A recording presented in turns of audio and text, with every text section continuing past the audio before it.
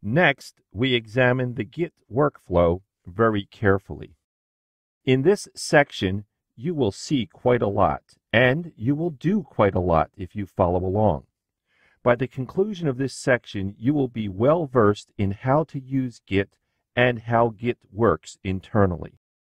For the remainder of this presentation, you are encouraged to follow along.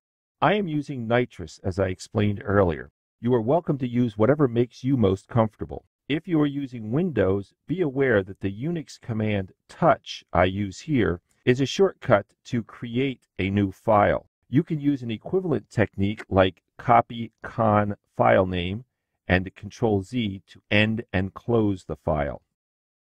In this section, we will examine the Git workflow in detail. Let's set up a little Git repository to work on. We will create a directory for our practice. Call it packed. Then cd into that directory and initialize git with git init. Now let's create a README file. Add this one line in the file, Mastering Git by Tom Parkin. We can advise Git that we want to track this file with git add and the file name. In this case, we could have simply used git add dot to indicate all files in the current directory and then make a commit with a simple message like this. The command git log verifies our efforts and shows us where this commit fits into the lineage of this project. We will talk more about git log in an upcoming section. We will use this repository throughout the presentation. Now, let's take a look at the typical Git workflow. If you are like most people, once you have begun using Git and become somewhat comfortable with it, this is probably your standard workflow. Write some code, add some new files, commit all changed files with git commit am and a message, repeat. And if your intention is to simply save your work, this workflow will suffice. We are here to explore a little and see many ways to leverage the very sophisticated features Git has to offer with the goal to improve your workflow. The added benefit is that you will be recognized as a Git expert and earn admiration from your peers. For example, the status command. I am sure you have used it quite a lot.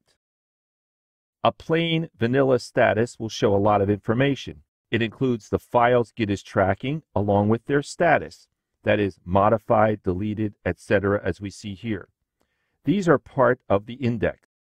Those files in the working directory that are not included in the index are considered untracked files. We will take a closer look at the index in an upcoming section. There are numerous options available to refine this output from the status command. I recommend you experiment with these to find the combination that makes you comfortable. Personally, I like this combination, git status-sb. You will see me use this often. With this simple common workflow, Git can capture, preserve, and maintain a historical record of the changes you make on a project. But we can do better. That was an examination of a common workflow for Git. In the next video, as we better understand some of the intricacies of Git, we will look at the staging process.